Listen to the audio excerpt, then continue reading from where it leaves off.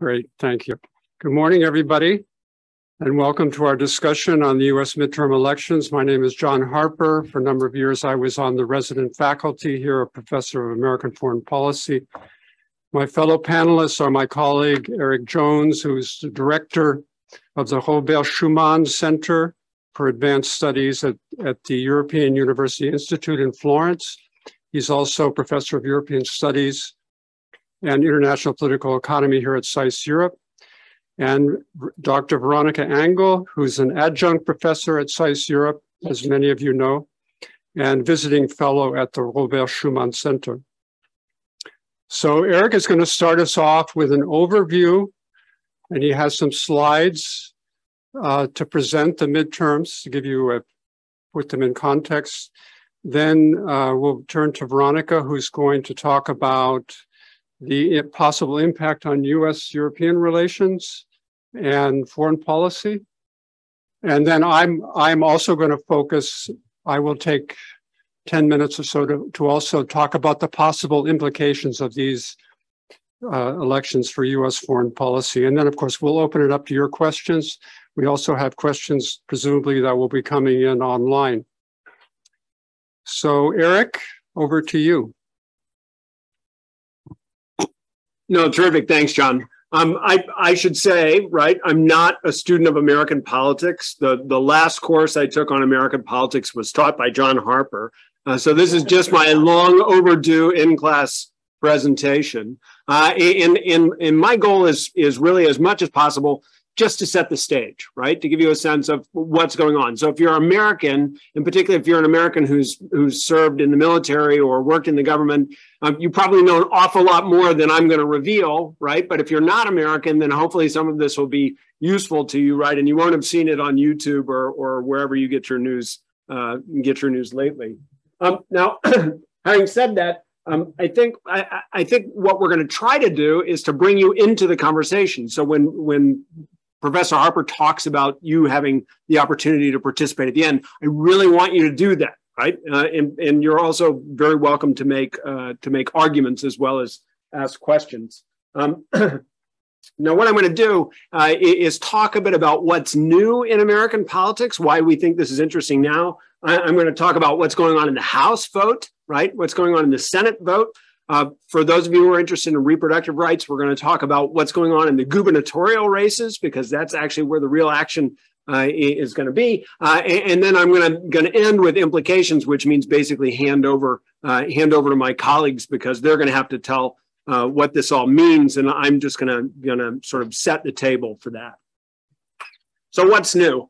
Uh, I think the, the reason that we're focusing on these midterm elections uh, is that there's just incredible polarization in American politics. It's something that's been developing uh, since 1992, I would argue, uh, and it expresses itself in, in very powerful forms of self sorting. It's very difficult to find Americans who live in proximity to other Americans who do not share their political beliefs. Uh, this is true both in the macro picture. So, what I've done is put uh, put the actual uh, results from the last uh, congressional elections. Um, and, and what you can see is that there are obviously big places that are red, uh, right, and small places that are blue. It's just that the small places that are blue, for those of you who are not American, right, red is right and blue is left, right? I know it's very confusing from a European context, but um, but but but those blue places are small, but there are lots of people who live there, right? Uh, and, and so it's really an urban rural divide. Um, I come from Texas, and I think Texas is the most important place on earth. So I thought I would I would highlight the the great state of Texas. And what you see is most of it is painted red, except for these little dots, right, of blue. Dallas and Houston, right, Austin as well, but but but Austin's read in a different way. Uh, and and so so when you when you look at this, um, what you have to ask yourself is, does everybody in Dallas vote Democrat? And the answer is obviously not. Right? If you go and look at the map of Dallas and they've drilled down into households, uh, what you see is that the reds and the blues don't mix even in these urban environments, right? So there's literally no mixing in American politics. You would not have a conversation with someone who disagrees with you if you could avoid it. And if you don't live anywhere near them, you can. Okay. That's new. Um, The other thing uh, that's new is spending right? Despite the fact that nobody lives around anybody who disagrees with them, they're spending shocking amounts on these midterms. These are midterms, and they're spending over $9 billion to contest these elections, right? Um, and, and most of that money, believe it or not, because I just talked to you about YouTube, is being spent on television advertising, uh, which is why I put the, the Nielsen media markets up. What you should see is that the media markets and congressional districts have nothing to do with one another. And so these poor congressional candidates, even if they have really big districts, are often spending across multiple media markets, and it's costing them the earth. Uh, and the reason that the spending is important is because the spending can only come from people who have that kind of money. And the people who have that kind of money are actually the people who are investing in the polarization that I talked about earlier. Right. So, so the fact that it's expensive and the fact that it's polarized has created this self reinforcing dynamic in American politics that we find very difficult to escape from. And, and that I think is important to understand in the context uh, uh of these elections. But that's new. Um, what's not new? Uh, what's not new is that that people who get elected to Congress very rarely lose their seats, right? Uh, and and and so we're talking about a, a fringe of the House that's going to turn over. Probably about 25 seats will turn over. That's enough to swing the majority. Uh, and and you know what? That was baked in all along, right? Because the House always moves in the midterms. Uh, and so if you were to look at the 538 polling, um, what you would see is that, that there was some tightening up, right? But it was never even close like the Democrats were going to retain control. If you read in the newspapers that the Democrats were going to retain control, uh, that's because the newspapers wanted you to buy the newspaper, uh, but but not because that's what was really going to happen on the ground. On the ground, we know we're going to lose control in the House, uh, and then the only big question is when we lose control in the House and of all those committees, uh, what is the new committee leaders going to do? Right, uh, and and and I think we can speculate about that uh, and, and, probably very close to right. Uh, but but hey, let's face it, um, we're going to find out soon enough right? Um, the interesting thing is that the toss-ups uh, are not all that many in number. Uh, and even in those toss-up districts, unless somebody is not returning as an incumbent, uh, the incumbent is more likely to win uh, than to lose. Um, Having said that, there is some variation across polling organizations. So I put up a variety of different polls to show you that there is something to talk about. In, in the political risk consultancy uh, with which I work, uh, the guys who follow American politics follow this obsessively at a district by district level because it will have an impact on policy, who gets in, and it will give us some sense of what's going to happen two years from now when we have another presidential election. Uh, but but the point I would emphasize is is even though there's variation across polling organizations, that variation doesn't really affect the outcome uh, as a whole, right? It's we're still going to lose control. We, the Democrats, are still going to lose control of the House. I didn't mean to just give away my political identification, but since I work in an ivory tower, you probably guessed that anyway. Um, the, the Senate is interesting because the Senate is closer, right? Um, and, and, and that's not just because uh, it's 50 50 right now, but it's also because when you get to the Senate level, you're aggregating votes at a statewide level. And, and across states, there are real debates underway. And, and what you can see are the probabilities uh, that, that it's going to go uh, either Republican or, or, remain Democrat, and, and those probabilities are pretty even. Um, my colleagues, again, in the political risk consultancy, were, were all excited to report that it had shifted from 50 50 to 51 49, not in terms of the seat outcome, but in terms of the probability of seizing control. At which point I'm like, you know, what is the standard error in these estimates, right? Because if the standard error is three, then it hasn't shifted at all, right? Uh, and, and, in fact, I would argue um, that's where we are. Um, there are Senate seats to watch. And what you can notice, the common factor is the Senate seats to watch are those where either the incumbent is not running again or the incumbent has only one term under their belt, right? Uh, and, and so as long as you pay attention to that, there are very few exceptions to that rule. There are also great candidates to watch because they're so weird right? Uh, and, they're weird on both sides. Uh, so if you were never interested in Pennsylvania politics, you should be now. Um, but but I'm not sure. I'm, I'm I'm not sure that we can really read into these tea leaves any more uh, than we've seen at the statistical level. It's a dead heat, right? Um, if the Democrats retain control of the Senate and the Republicans get control of the House, that will have one set of impacts uh, if the Democrats lose control over both chambers, we'll have a second different set of impacts, right? Uh, something to, to watch out for. Um, the, the, gubernatorial races are interesting because state politics has suddenly become more important. Uh, state politics is where the battle for reproductive rights is going to be fought.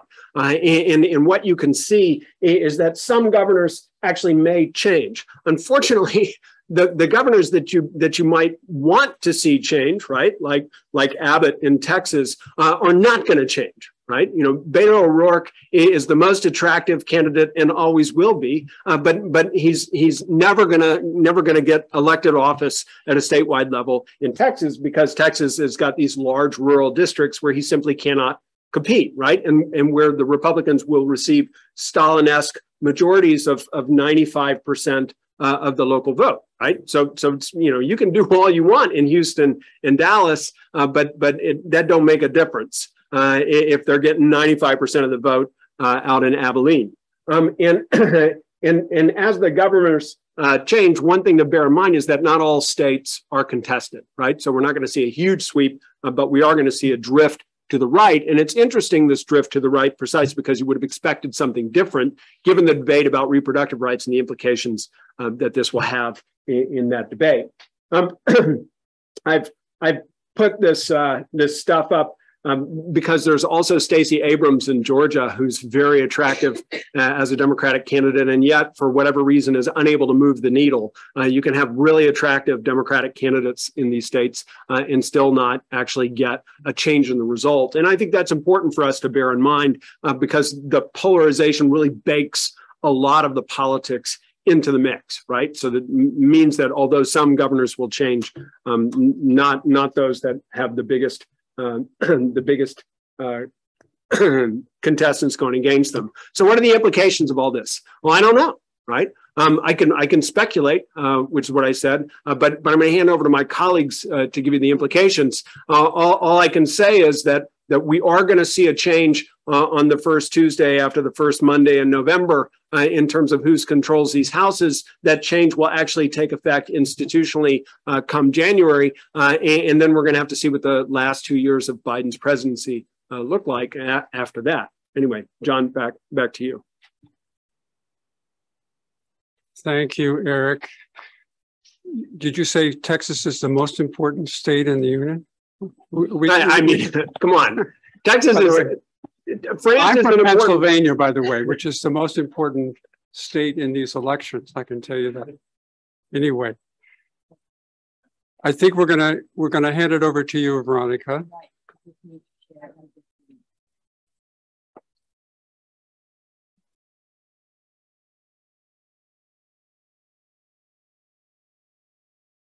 In the meantime, all of you can be thinking about what the implications are, and then you can at least tell us what you think they will be, and then we can we can debate it. Hi everyone. I'm going to stand so you can have a more direct view of the slides um, that I've been uh, uh, working on for um, uh, for a day or so because I really wanted to update some of the polling that I'm going to show you um, and make sure that I have the, the, the latest.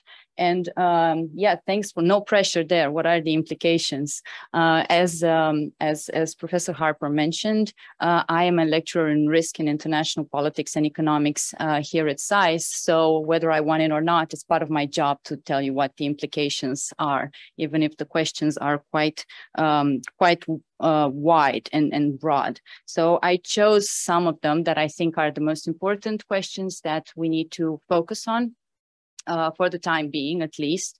Um, and these uh, relate to the you know, likely Republican takeover um, of the House and what are uh, the implications of a uh, Republican takeover of the House? Will the Republicans drift away from supporting NATO? Will Congress be less supportive of Ukraine? Um, is US support for democracy promotion abroad weakening? It's not that high to begin with, but is it weakening? Will US domestic issues overshadow international commitments? Um, and is US grown political violence becoming an international problem? Uh, so these are all very happy thoughts to start off with, but the things don't actually look that bad because Let's think about support for NATO. We all know that the Republicans are traditionally very supportive of everything that has to do with military and uh, the uh, US presence uh, abroad. And I've pulled out some numbers from the vote roll calls, both historically and uh, more present, um, of how the uh, support for NATO has been distributed within the Senate. And one important proxy for this is how both Republicans and Democrats have voted when it came uh, to uh, decide on uh, NATO enlargement. So the most debated one to begin with starting in November 1998, this was Clinton administration with a uh, Republican controlled Congress, and you could still see um, that uh, the um, there was some, you know, not full support uh, from uh, from the from the re uh, Republicans for this, but um, yeah, there were the, the, distribution was not that that high. If you look at the debates within, uh, or the differences were not that high. And if you look at the debates um, in the Senate at the time, the worries that they had were mostly about Russia, uh, uh, feeling threatened. So unlike what some of the luminaries of international relations might say today, there was always a concern uh, for what uh, for how Russia will perceive NATO enlargement towards the east, um, and that was what overshadowed full support uh, for enlargement towards the um, towards Poland, uh, Czech Republic, the Czech Republic, and Hungary. There was absolutely no debate when the sec for the second NATO enlargement after the fall of communism, uh, when NATO enlarged to seven more Central and Eastern European countries. Uh, Russia was not part of that conversation at this time. It was quite a weak power, um, and it didn't matter that much. Again, Republicans and Democrats supported NATO enlargement. And even when NATO um, enlarged to include Montenegro, there wasn't really a big Republican, um, a big re Republican distance there. But let's see what happens now, right? So if now when NATO enlarged to include Sweden and Finland, and the Senate had to vote on that, again, um, there wasn't there wasn't uh, much to contest, uh, and and it seemed that both Republicans and Democrats were on board with NATO enlargement, even at a fraught time um, in international politics. The nay and the Republican, I don't remember who uh, that person was, um, but I do. Um, uh, sorry, they confused the buttons. I'm not sure, um, but I do remember that.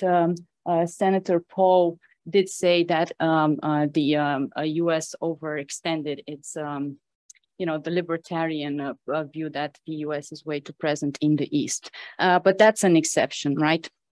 And um, I think this is important to keep in mind because we have a lot of bad news coming from all over the place, but it doesn't particularly seem that when it comes to NATO support, we have uh, a big problem going forward. And we can see that in the support that the US has been delivering to Ukraine. Uh, it does seem that the support towards Ukraine is not eroding for the time being. The US keeps leading the Western coalition against Russia. There are a bunch of people in this Western coalition, just to refer to it in, in broad um, labels. Um, there are there's some talk that we should start a negotiation with Russia on behalf of Ukraine. Uh, but so far, uh, the US is staying the course on, on current strategy not to negotiate with Russia. At the same time, we already hear a lot from the State Department and from uh, uh, leaders of uh, different areas of US foreign policy that the lines of communication between US and Russia are anyway uh, at, at the weakest uh, that they've been in a very long time. So those, uh, the possibility to even start a communication with Russia um, is not an easy thing to do. We also have to keep in mind that Ukraine has received 41 uh, uh, billion dollars in military aid in 2022, and that is 80% of what entire the entire defense budget of Russia, right? And it's nothing for the U.S. So as long as there is political support to the idea that it doesn't mean that much economically for the US, uh, we are likely to see this uh, continue. And Nevertheless, you will see some things in the news that you have to decide for yourself whether it's more signal or noise. There is some disappointment of where some of the weapons uh, that end up in Ukraine are ending up. Um, and uh, you have US troops on the ground right now and a little more oversight to make sure that any illicit traffic of weapons um, uh, is being uh, held under control. Support for NATO and Ukraine implicitly has also been um, contested um, in, uh, in, in the House, but in the end, when uh, you had important bills coming uh, to the vote, uh, it does seem that although some Republicans have been against important things, not all of them uh, have uh, have polarized, right? So this is not a, that much of a polarizing issue as other issues that we have seen. If you remember, at some point there was this president called Donald Trump, who unfortunately cannot go away, uh, and we still see him around, uh, who had who made these past comments of the possibility of the U.S. withdrawing support for NATO, which was a big, uh, big problem for everyone in 2019. And at that point, uh, the House actually voted um, on a bill uh, with. Um, bipartisan support to prohibit US withdrawal of funds from NATO. Um, and there were 22 Republicans who, uh, uh, who voted against, but there were 149 who did not stick with um, uh, President Trump's rhetoric. This changed a bit uh, when the House had to vote recently after Russia's invasion of Ukraine. Um, in a bill that called for more support for NATO in March of 2022, uh, where the Republicans voted more numerously against, um, against providing this support for NATO. And um, that is important to, to note, right? Because you could see that there is a shift there in the Republican uh, support uh, for both NATO and Ukraine. But it's important to look at what these different bills actually refer to. And this is where I transition towards the likelihood for more or less support, less support for democracy promotion abroad. The first bill I referred to in from 2019 had very clear objectives, right? The president shall not withdraw the United States from NATO, and no funds are authorized to be appropriated, obligated, or uh, expanded to take any action to withdraw the United States from NATO. So it was something that they could get on board with the um, actual, the bill of 2022 had a different kind of verbiage. Um, and it did lean a lot into this idea of democracy promotion uh, that President Biden included in his campaign um, and that he has been trying to use to uh, um, polarize more the society in a, a democracy versus authoritarian camp. So it did say that NATO should uphold the funding democratic principles um, and to use the voice and vote of the United States to establish a Center for Democratic Resilience uh, within NATO headquarters. So what Republicans found problematic here wasn't actually, you know, support for Ukraine um, uh, itself, but the fact that they may have, you know, lended their vote to something that was part of a rhetoric that their party doesn't actually su uh, support for the time being. So we can ask ourselves, right, is democracy promotion still part of the US uh, toolbox um, of, of um, presence in international uh, relations? And um, it doesn't seem to be the case. If you look at the trends on most important issues that are dividing Democrats and Republicans uh, for these elections. Um, and I've pulled some of this um, um, information here from, from polling, from the latest polling. You can see that the domestic issues prevail. Again, this is not surprising. Uh, will probably difficult to see, uh, but for Republicans and Democrats, the economy is the most important thing that they um, they're focusing on. Um, and then there are some, there's some variation for the Republicans. There's no actual care for you know coronavirus, but this is higher for Democrats.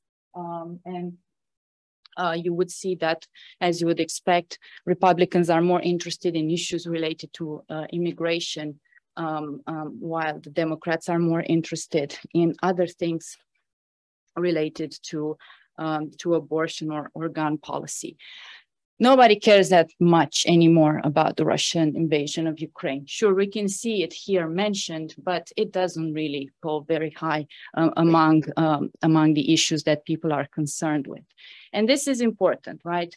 Democracy, although the Democrats have tried to make it a thing, it did not turn into a thing for these elections, not even when you look at Google Trends, right? So maybe there was some social desirability there when people are answering poll questions. But if you look at what actually people are Googling, according to the methodology that um, um, we can, uh, that Google has set up in its trends, we can see that the political topics in swing states like Pennsylvania or Georgia um, mostly uh, revolve around wages and social security. Um, and it's not, again, about um, anything that is internationally related or that has to do with democracy. I need a bit of water. to talk to cover all this. Okay. That wasn't very classy, but very efficient. So not even when we look at this do we see that there's any interest in, um, in, in democracy promotion. We can also see that the issues that Democrats are banking on are not the most pressing issues. So even if the two parties seem to be speaking across each other, so they're not engaging on debating um, uh, the economy, for example, um, they do they are associated with different issues as and in terms of um, effectiveness. Um, however, the issues that most people care about are the issues that the Republicans are associated with. So 60% of, of people who are polled by this public opinion strategies poll would want Republicans to handle jobs and the economy. Obviously, 90% of voters would prefer Republican control of Congress for the issue of immigration and border.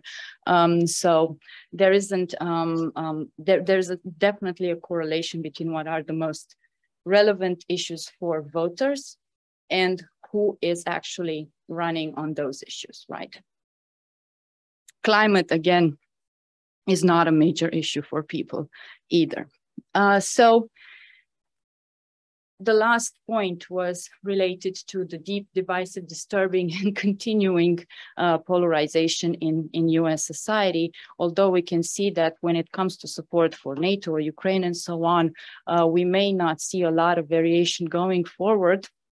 But they will be more difficult uh, to uh, to deal with uh, with a divided Congress for political um, reasons, and that is also because of the uh, deep increase in violent um, um, attitudes that um, are now going beyond merely a mix of right-wing organizations. So this is not about the Oath Keepers. This is not about Proud Boys anymore. Um, there are there are numerous studies that are coming out of University of Chicago, which I encourage you to look into uh, on what drives um, uh, the millions that actually believe that the 2020 elections were stolen and that force is justified to restore Trump uh, to the presidency. There are millions of Americans who are ready to, um, to engage with that possibility.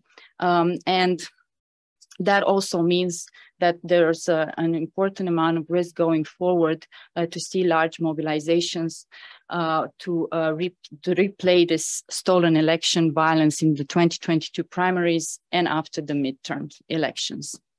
And one final point I want to make here is that we know now what was the, the what is the makeup of the uh, 21 million people uh, who um, who do believe that there is a justification for the use of force to restore Trump in the presidency. Uh, this is very much racially motivated, uh, and it's the idea that great replacement um, uh, of the great replacement that will take place um, if um, the Democrat Party will push its um, electorate um, to, to take over.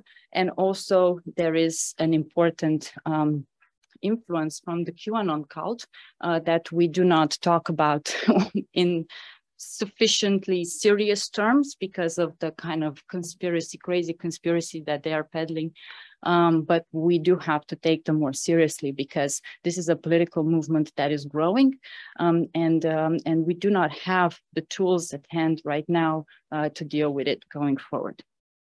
Okay, so I'm going to leave it to that, and we can take up more questions. Thank you very much, Veronica.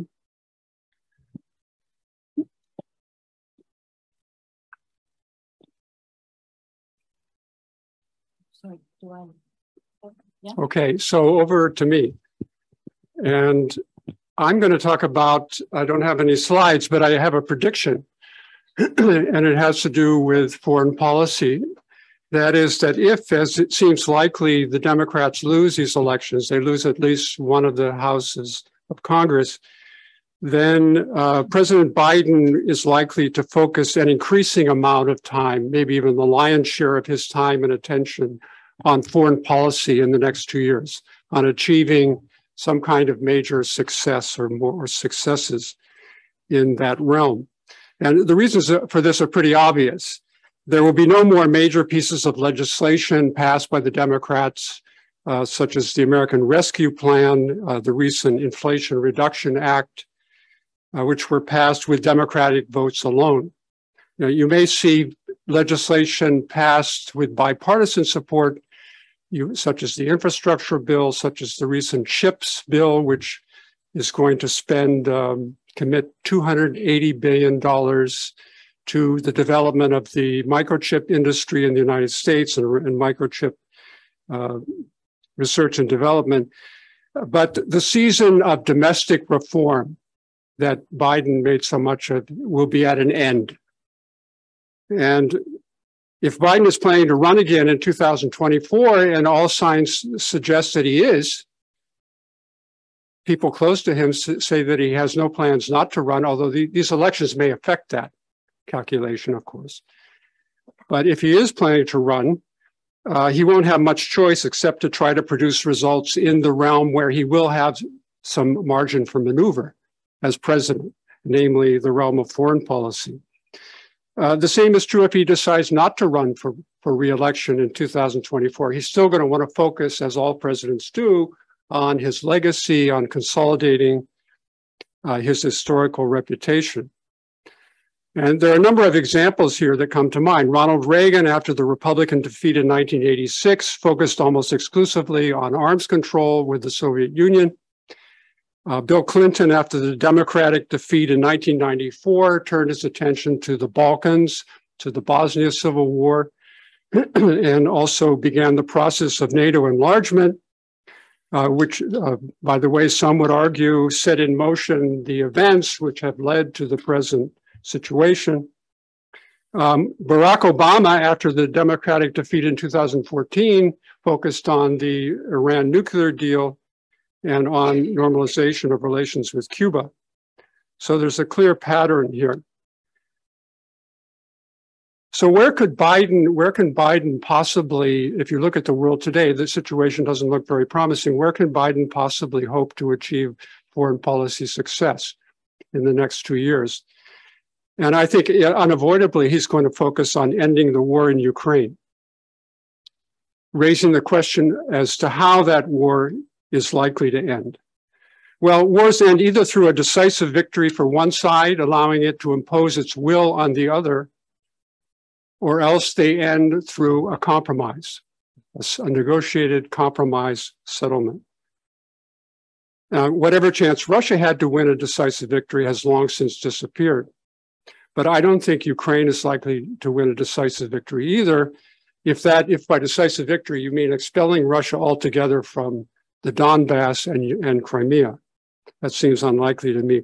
I think the war is more likely to end through a Korea type armistice that would be at best a partial victory for Ukraine because it would leave Crimea and possibly parts of the Donbass in Russian hands. Now, if you factor in the, the Republican victory in these elections, it seems to me that likely that outcome becomes even more likely than it already is. Um, some Republicans, centrist Republicans, Mitch McConnell, are insisting that the Republican victory will, will not affect U.S. policy toward Ukraine. It will not affect US support for Ukraine. Uh, but I think it will. I think it will affect it.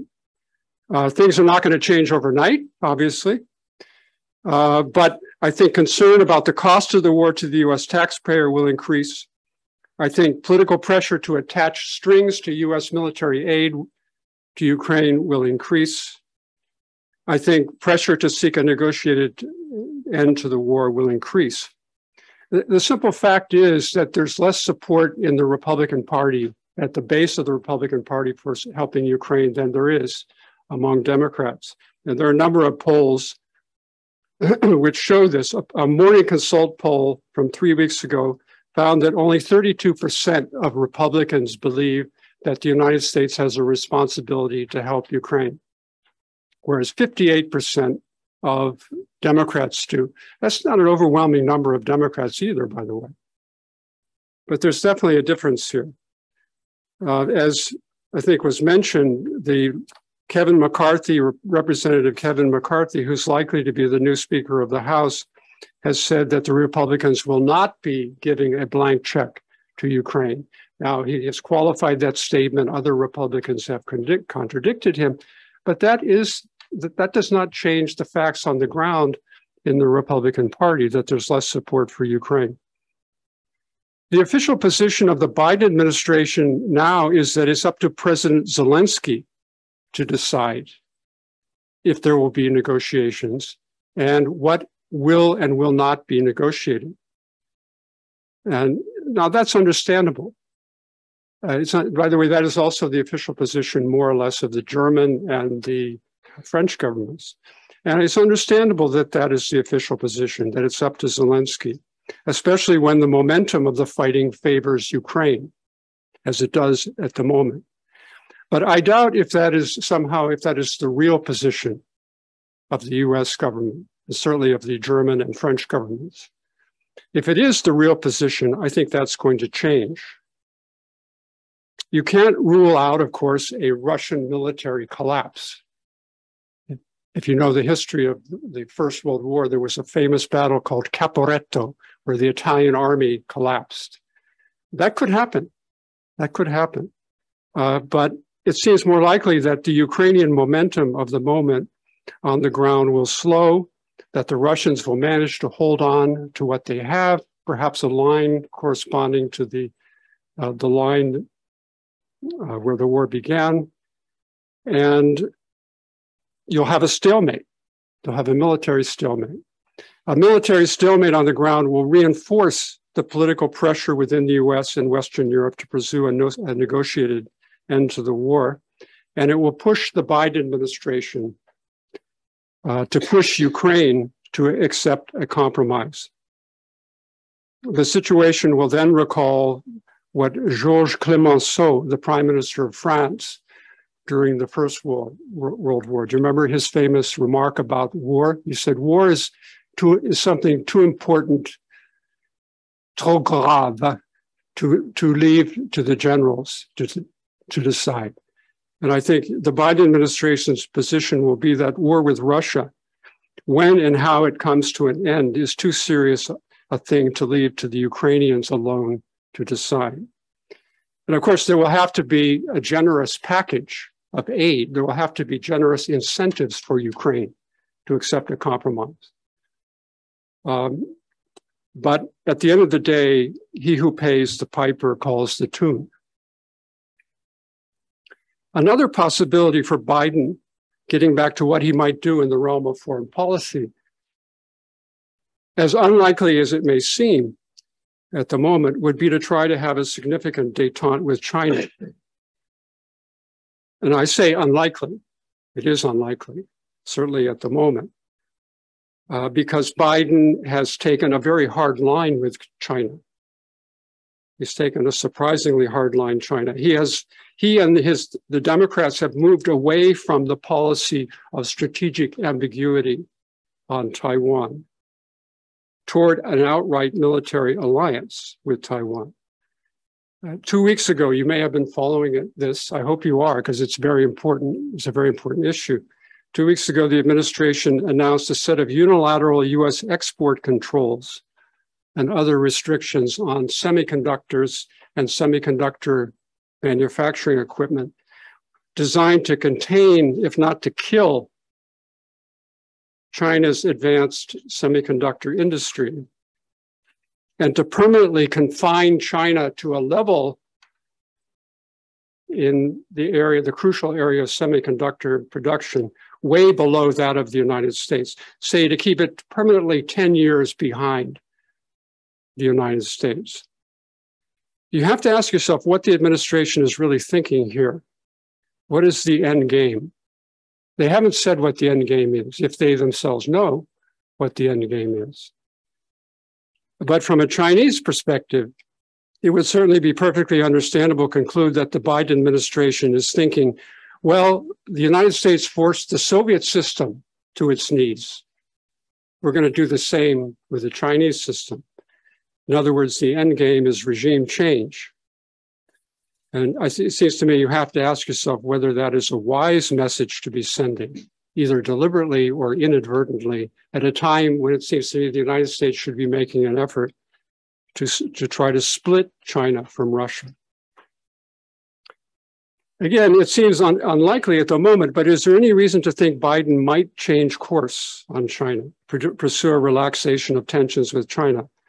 I, well, I think one reason is that the hard line that he has adopted on China is partly a reading of the mistakes that Obama made initially. Obama was initially very conciliatory towards China. The Chinese seem to have taken advantage of that. Biden was forced, uh, Obama was forced to reverse course, excuse me, with his famous uh, pivot to Asia in 2011.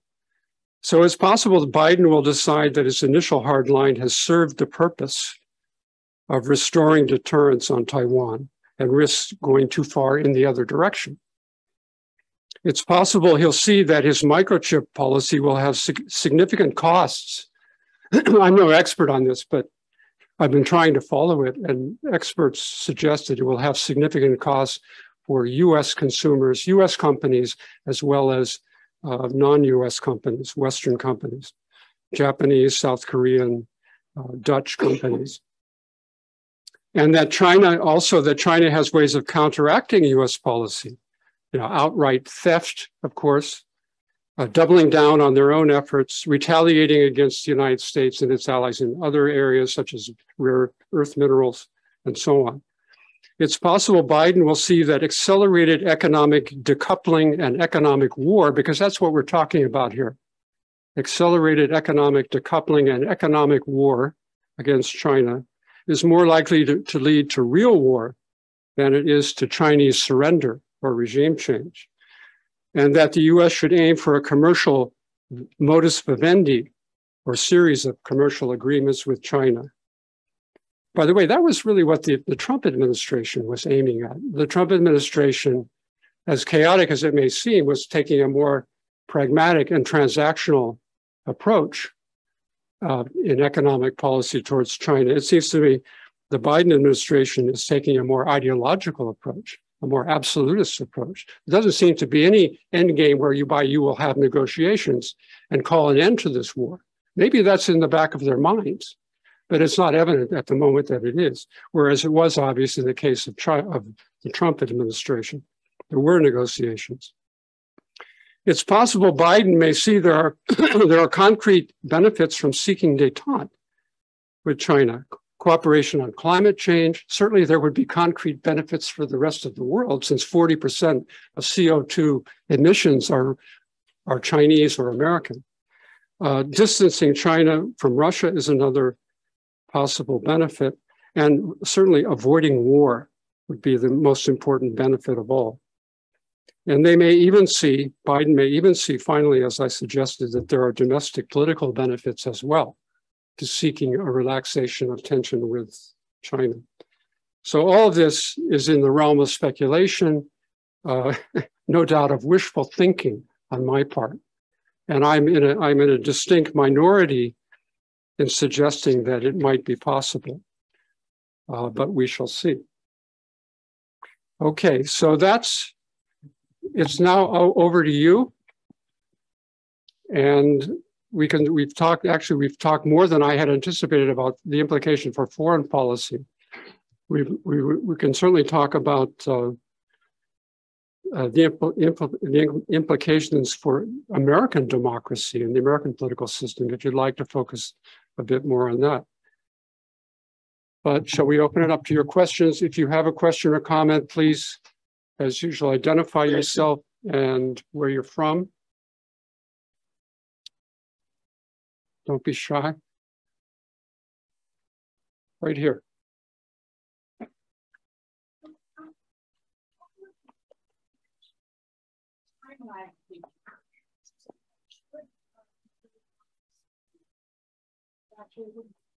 By the way, do we have a microphone here? I guess we don't. anyway, go ahead. You want.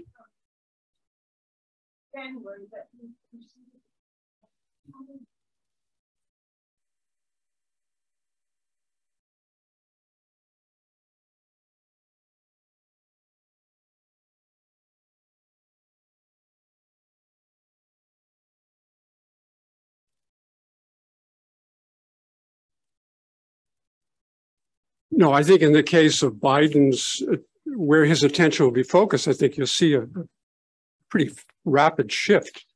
I mean, he will still be president. He'll, he'll be facing a Republican controlled Congress, but he's going to be president for two more years. So I think starting in 2023, I think you'll see the focus on, on uh, dealing with the, the Ukraine war. I don't think there'll be much of a time lag there. Man. Sure because um, I don't disagree with with um, much what uh, Professor Harper said, but it's good that we have a little bit of controversy. Um, I can't imagine a political consultant um, suggesting to Biden to shift towards uh, uh, focusing on political, uh, on international issues, given that the majority of the electorate is focusing on domestic issues. So although the outcome might be the same, which is trying to negotiate more on Ukraine rather than supporting Ukraine fully towards a, um, a you know full scale victory, whatever that would be, um, it's it's not likely that it will come because of an interest in international politics, but rather because the domestic issues are taking priority and they're likely to do so uh, before the um, the the elections, the presidential elections. But I think, you know, the, the fact is, when it comes to domestic legislation, at least he's going to be totally sandbagged. He, he's not going to, he's going to be, his hands are going to be tied. I mean, he has a certain, um, he has a certain margin for maneuver in domestic policy as well. Uh, but I think uh, let's wait and see where he where he spends his time, his effort, what his priorities are. On verra. I see Nina and Nina Hall in the back there.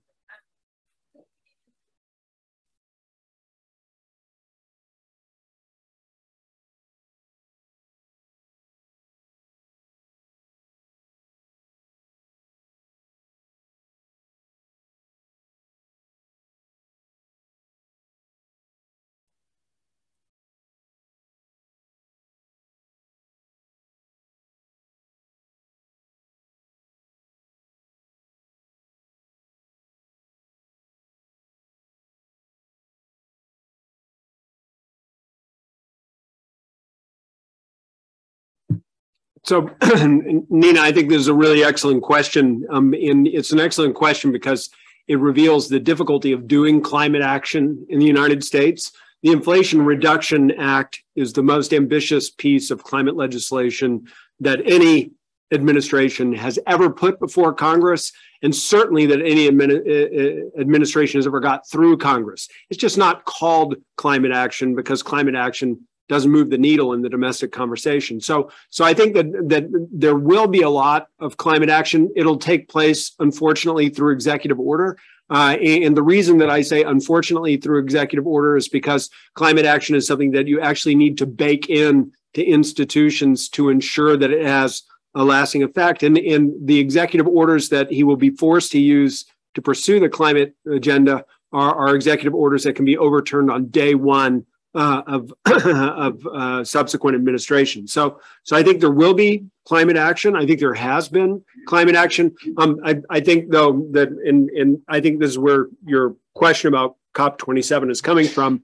Uh, I think that even though I characterize this as revolutionary, the fact is that it's all way too timid uh, given the thermodynamics of the situation. We're going to blow through 1.5 uh, we're probably going to blow through two degrees. Uh, if we blow through an average two degrees temperature increase at a global level, um, then you can only imagine what life is going to be like at the equator, where the variation is four times that.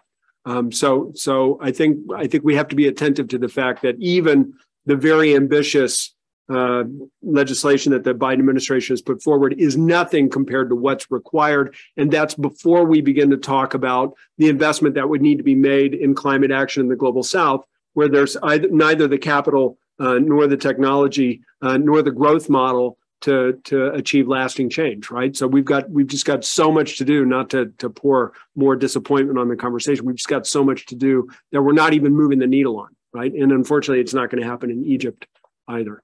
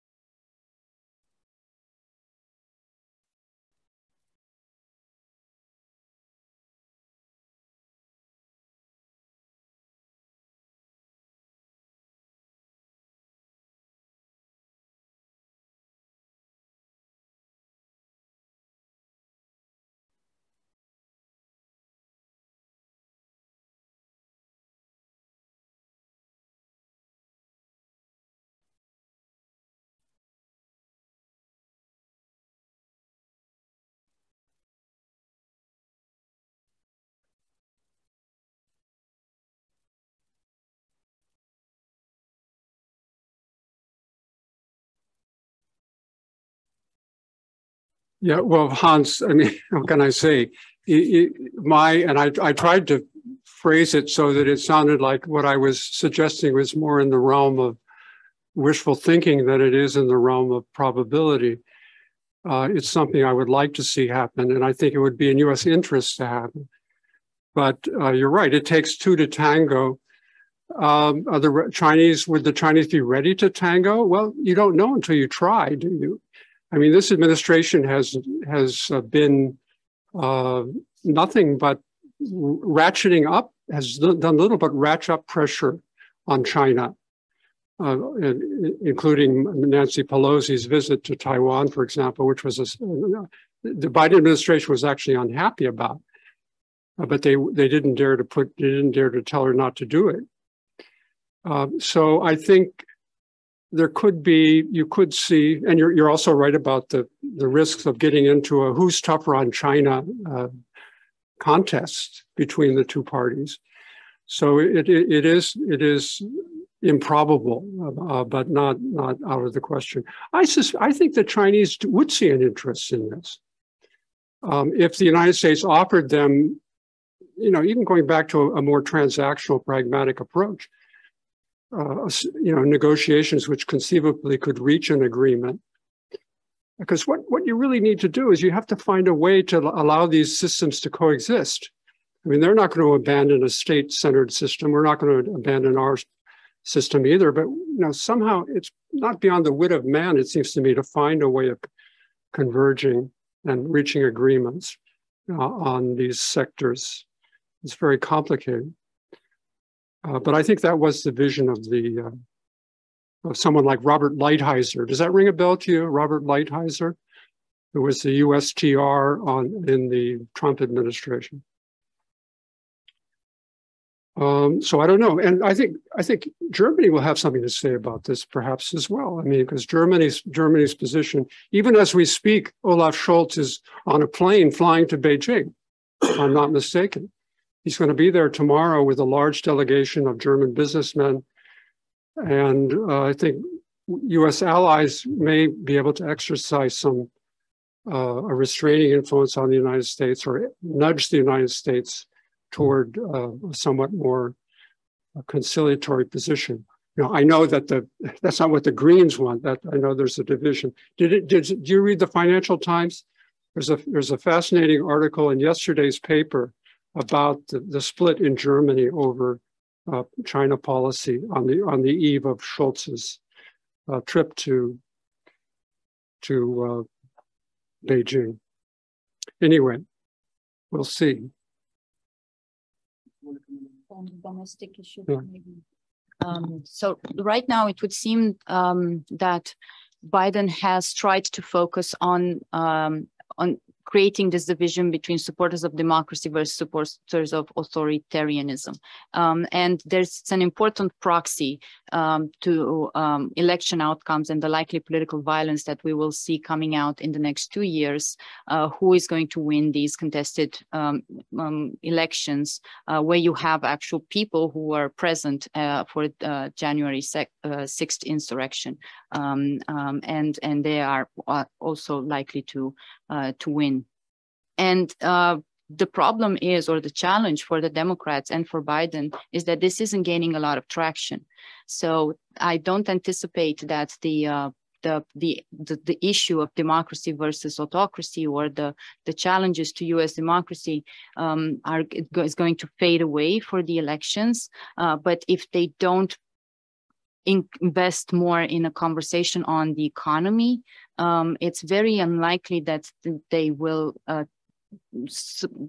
they will succeed uh, to move the needle a little bit outside of their base. So the base will be targeted with climate, with gun control, uh, with uh, reproductive rights. Of course, democracy uh, is a big issue, uh, but they will have to do much more on the um, uh, on controlling the narrative on the economy because it's very unlikely that the trends and preferences in in the voters are going to change for the foreseeable future.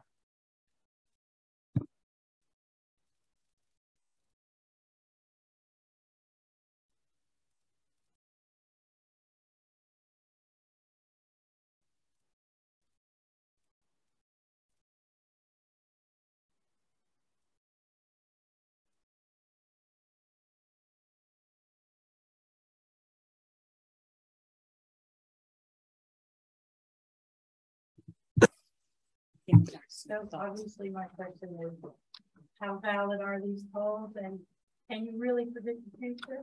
So I remember sitting on a panel um, that was hosted by a big insurance company, and there were a bunch of us that were impaneled, and we all said the same thing, which is that that you know the polls say that it's very unlikely a one in three chance uh, that that Donald Trump can win, right? Um, by the way, one in three chances, not the kind of odds I would use on an airplane. If you told me there was a one in three chance that the airplane was going to go down, I wouldn't get on it. So, I mean, the fact that he won doesn't mean that the polls were wrong. It, it just means that it was one in three. Um, having said that, the the the thing that I underscored then and would underscore now is that there had been this consistent run of polling that that said that Trump was a no hope candidate in 2016. Um, but but there was about 46 percent of the population of the United States that was going to vote for him nonetheless. And that was the important thing, right? Not predicting that Trump was going to win or not, uh, but but identifying the fact that there were these people who were committed to a political program into a candidate that seems so much at odds with the history of the party or, or, the political system in which that was embedded. And I think that was the important message to take away. So when when Veronica puts up these slides about 25 million people who believe that the 2020 elections were unfairly adjudicated and should be overturned by force, 25 million people, right? That's almost as big as the state of Texas. So that's like a big deal and and when you think about it, Um, the fact is, is that this is directly translating into real political violence from 2016 uh, to today. If you listen to the latest episode of the Daily on the New York Times, um, the the incidents of threats against sitting members of Congress have increased tenfold. Uh, the 538 members of Congress are now receiving over 10,000 threats to their well-being a year. This is unbelievable. And, and the fact that Nancy Pelosi's husband uh, was was beaten up by a crazy guy who got into her house in the middle of the night spouting QAnon theories is not, I would underscore, not an aberration. It is a symptom of a growing problem in American society that we need to pay attention to. It's not just in American society. You can see it other places too. But the fact that it is in American society and that Americans are heavily armed. I happen to be one of those people that when my parents retired, I went to go clean out the gun closet from the 35 guns that we had in there, right? So I'm not think, saying that owning guns is a bad thing. I thought it was a lot of fun, but the fact that everybody's so heavily armed uh, makes that situation particularly dangerous in, in the United States. 25 million heavily armed people who believe that they should try to fight back against the stealing of an election. That's scary, right? Uh, and, and, so, to Hans's question about what this means for 2024, the fact of the matter is, after these midterm elections, the polarization that I described is only going to be deeper, right? Well, not only that, policy uh, promises in an election after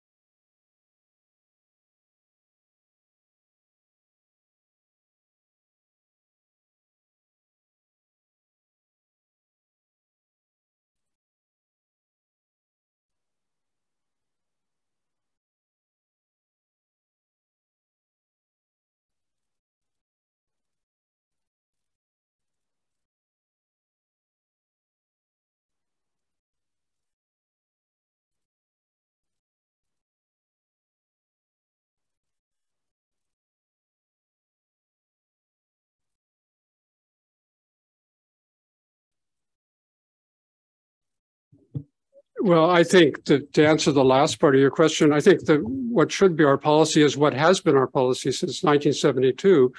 And I think we should, or at least since the United States abrogated its treaty of a military alliance with Taiwan. You remember, we did have a military alliance with Taiwan. Uh, then we recognized the People's Republic, and we adopted the one China policy. Uh, I think that should be our policy. I don't think we should go back to a military alliance, and I don't. I think we should. Uh, I think Biden Biden's remarks are open to two interpretations. One is that they're just Bidenisms. I mean, classic talking off the cuff, and then his advisors having having to rush to clarify what he says or there's method in his madness. Uh, the other uh, the other interpretation, they're more calculated and deliberate. I suspect that they are. There is an element of there has been an element of calculation. He, he wants to create a new perception in the mind of the Chinese. He wants to enhance American uh, deterrence against an attack. And I, you know, you, there's an argument for doing that, but you have to be careful it has to be accompanied by reassurance. It has to be accompanied. It should not be accompanied by, you know, ratcheting up pressure on Taiwan, restoring deterrence if it had been eroded, should not be accompanied by the declaration of economic war on China. You know, in the in the same context, which we've done. I mean, is Uh, do, does the right hand know what the left hand is doing in Washington? I don't know. Um, it's a fascinating question. But I think the upshot, the, over, the overall effect is, is that it's worrisome uh, to me and the, the trend, uh, unless there is some an intention to, to engage China in a dialogue uh, in the future. One can only hope there is. By the way, if you're interested in this subject of, of semiconductor and the on this unfolding issue, which is going to be more and more important, there's someone called Jon Bateman. And make a note of that. Jon Bateman at the Carnegie Endowment for International Peace, who has written some some really interesting articles, and he's he also does uh, he writes for Foreign Policy magazine.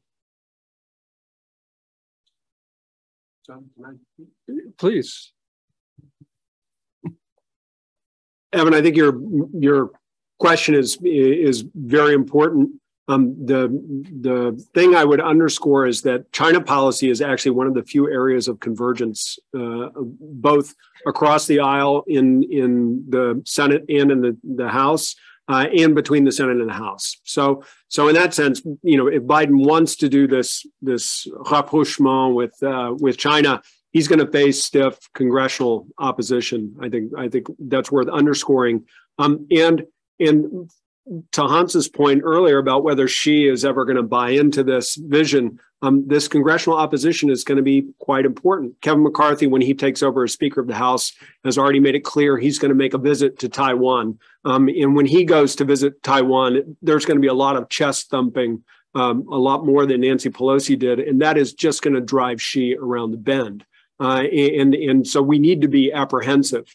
Uh, this economic warfare that John is talking about, let's not forget, Taiwan is one of the world's capitals for semiconductor manufacturing.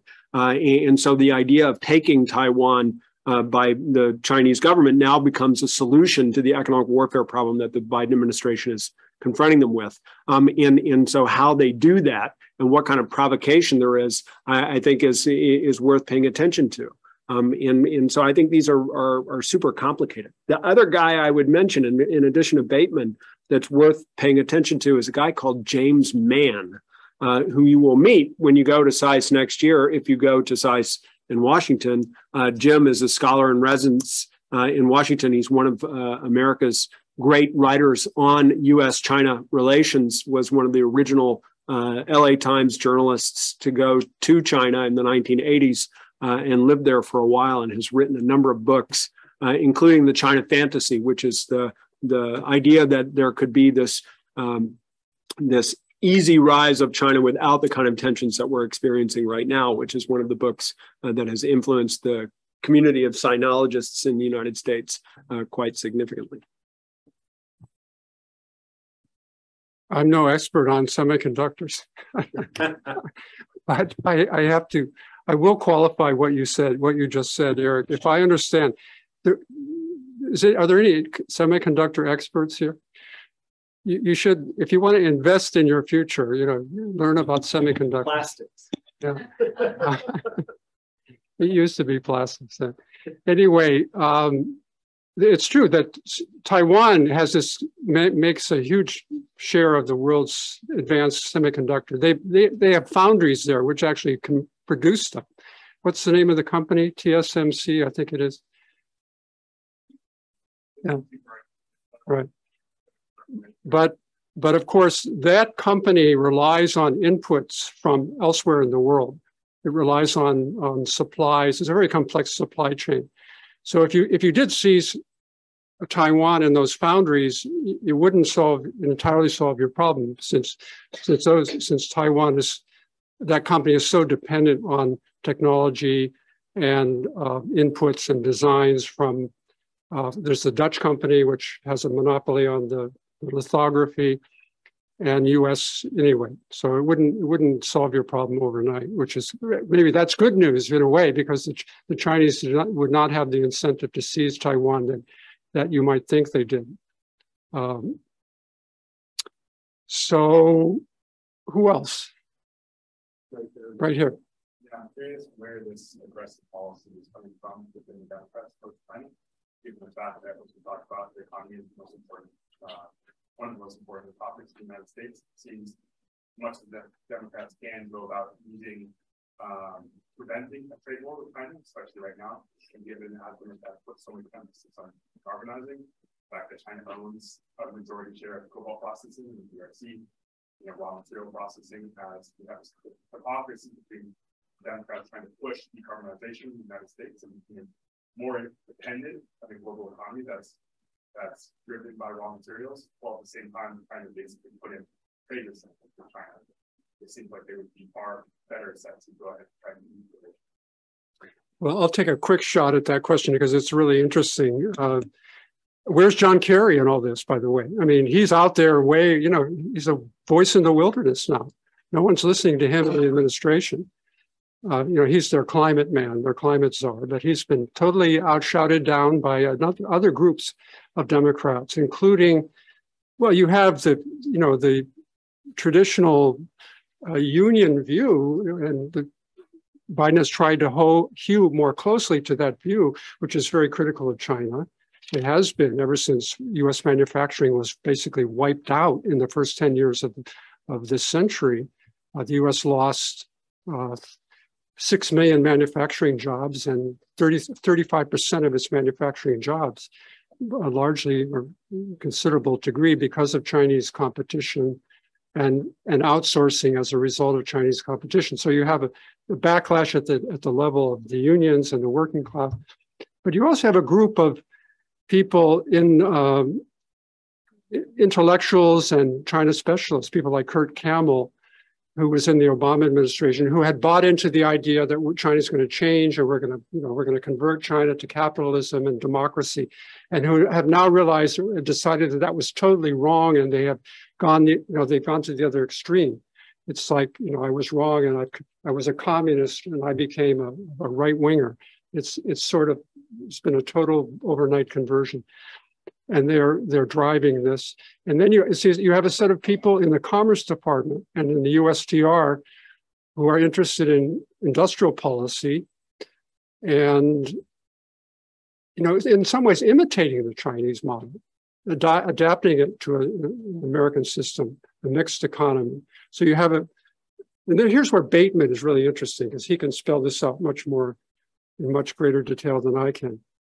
But you have a convergence. And then, of course, as Erik says, you have Congress beating the drum, uh, the Republicans. So there's really no one pushing back. That's the problem right now. There's no one, there's no debate in Washington at the moment on China policy, a crucial, uh, it's like, the, you know, somebody has to, to start, uh, you know, trying to steer the, the ship away from the iceberg, if you ask me but I don't know who it's going to be. May I voice an unpopular opinion again, just for a bit of diversity? Um, the um, I the position towards China that the, the Democrats you say are are also justifying is can also be argued to be justified. The China that we're dealing with right now is not the same China that we were dealing with uh, 10 or 20 years ago. Uh, so Xi is definitely mm, um, steering the ship towards a different position in terms of increased authoritarianism and population control and economy control and party control and uh, long-term legacy and so on. And this isn't something that can be dealt with with similar tools that we've been dealing with so far. Um, and second is the issue of human rights that has come to the fore in important ways and that the Democrats have taken um, as well and been running with for their base.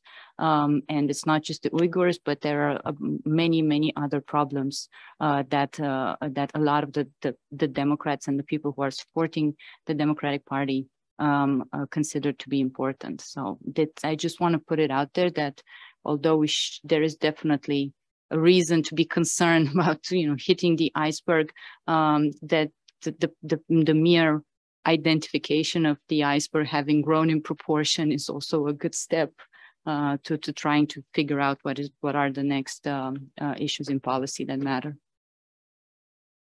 Okay, that's an important point. I mean, you have expressed very well that in a way that the mainstream democratic view of China at the moment. There's a strong ideological element or concern about the the system. The question is whether the, the recipe uh, that whether the medicine that the that the uh, Biden administration is is attempting to force down China's throat is going to is going to do any good uh, when it comes to um, reducing or human rights abuses and so on.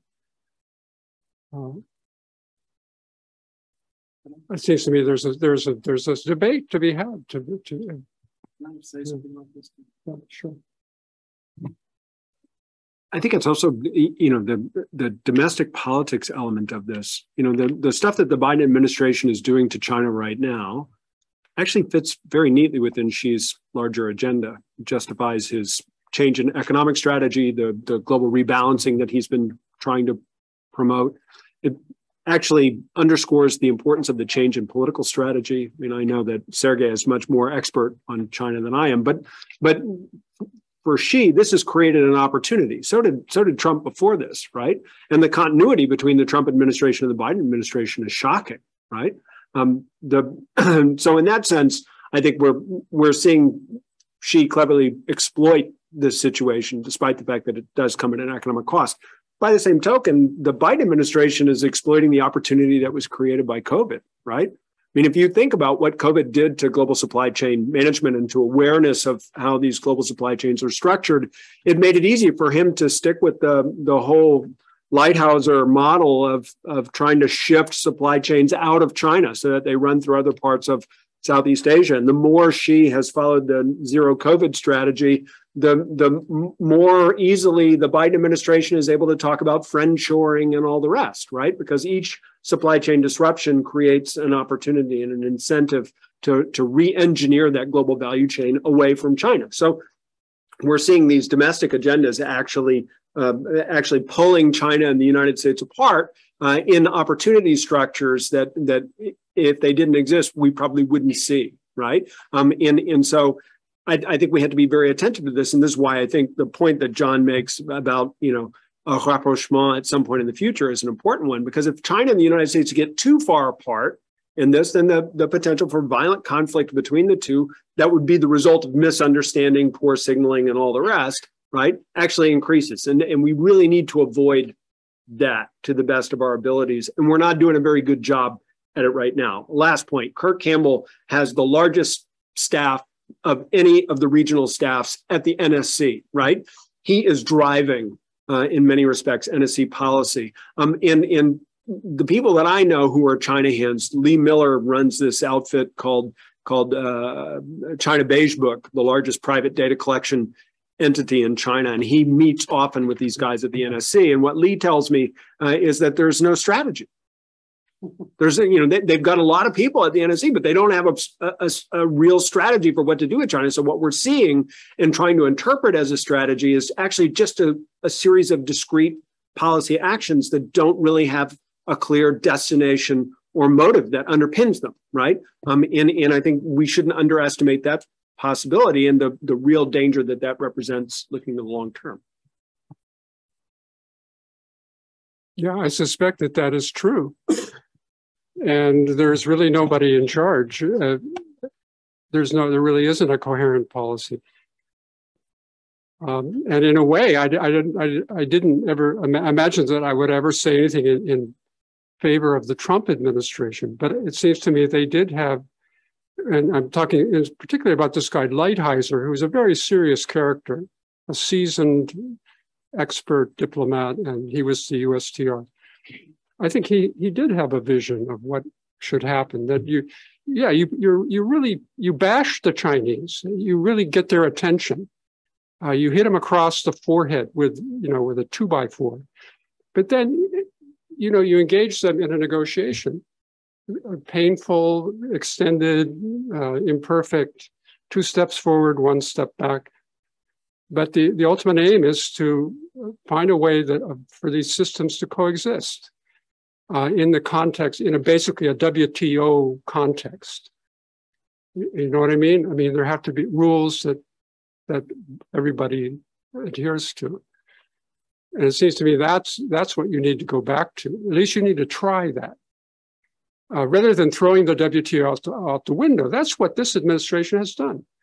There's nothing here about they have they resort to this. There's a national security sort of um, forget what you call it. I mean, you can you can invoke it to, to do just about anything you want, and that's what they have done. Uh, but I mean, who who invented the WTO? Whose idea was it? It was our idea. Who invented the idea of a liberal trading order? It was us. Now we're the ones who are are, are flouting it. And you know, as as Veronica points out, you there are many good reasons why you know you can't trust the Chinese and they're they're doing terrible things. But it seems to me you still have to engage them. Um, especially at a time when you know when relations with Russia are what they are. You know, do you want to you want to push these two countries into each other's arms, which is what our what we have managed to do uh, to some extent anyway. Anyway, I'm off the soapbox. so, and we, it's just about we're just about out of time, but we do maybe one more question. Final word. Do I get the final word? Okay. Sergey, do you want the final word? Question. Um,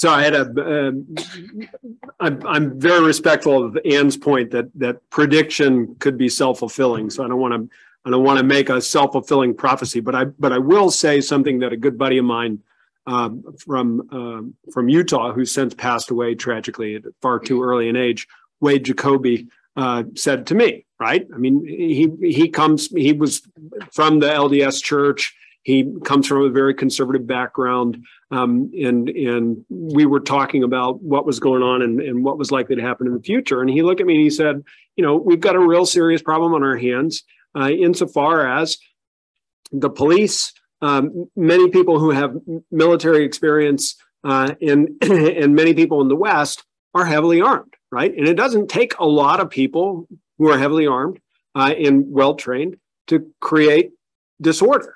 Uh, and, and, if you ever see those images of Kyle Rittenhouse uh, walking around with the with with a rifle, uh, and the fact that he is he's greeted by the police and not considered a threat uh, by the police immediately prior to to using that rifle to to actually take a human life, th- this is an alarming prospect. Um, and so it's not a question of of do I think a civil war is possible in the United States? It's a question of uh, do I think that it is dangerous for us to have these polarized beliefs in the context of a society where people do not live with one another when they disagree? Uh, and, and those people are supremely well armed and good at using the arms they have available, right? Uh, I think that is a very bad situation. So when I see President Biden give speeches like the one he gave yesterday. Um, I think I think it's well intentioned. I think I understand the message that he's he's trying to make, but but unfortunately, framing it as an us versus them conversation is not actually helping to lower the degree of polarization. It's actually convincing half of America to, to close the shutters over their ears so that they don't have to listen uh, to what the president has to say. And I think that's a, a, a very scary prospect. Uh, does that solve any of Putin's problems? The worst thing that could happen to Putin would be a civil war in the United States, uh, because any attempt by him to do anything would draw uh, immediate fire from all directions. And and here again, think about you know Kevin McCarthy, who's who's wants to one up Nancy Pelosi by poking the the panda bear. Um, this is just not not a smart way to do politics. Uh, but they would do that on steroids if we were in a real violent situation in the United States. I say the same thing about civil war in Russia. If there's a civil war in Russia, I think that's the worst thing that could happen to us. Uh, so I think we need to be careful on both sides of that relationship. So I, I think that um, um, Erik's concerns with guns and so on is also due to the Texas background. Um, I want to add to this that it's it, that is correct. The problem with the arms is definitely a, a thing that we can see in all the uh, statistics and so on. But there's a larger problem. The majority of people who participated in the January 6th insurrection were not part of the military. Uh, they weren't uh, part of any of these militarized groups like uh, the Oath Keepers or Proud Boys. Uh, they were uh, CEOs, they were business people, they were um, IT people, mostly men, white, yes, but they were not they were part of different um, they, they came from all over the U.S. from counties where both Trump had won and uh, or um, uh, Biden had won, uh, mostly from urban areas, uh, and they were uh, getting their information from different uh, parts of the of the media. So it it is a much more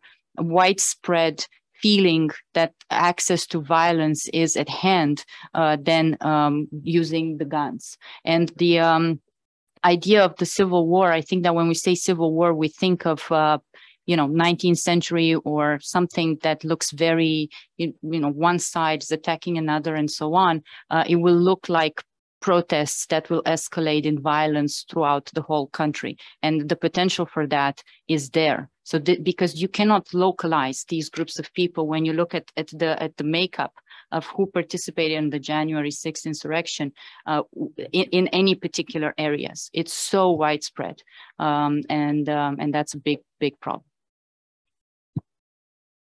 You get the last word. Okay, big problem. Uh, thank, thank you. you. thank you.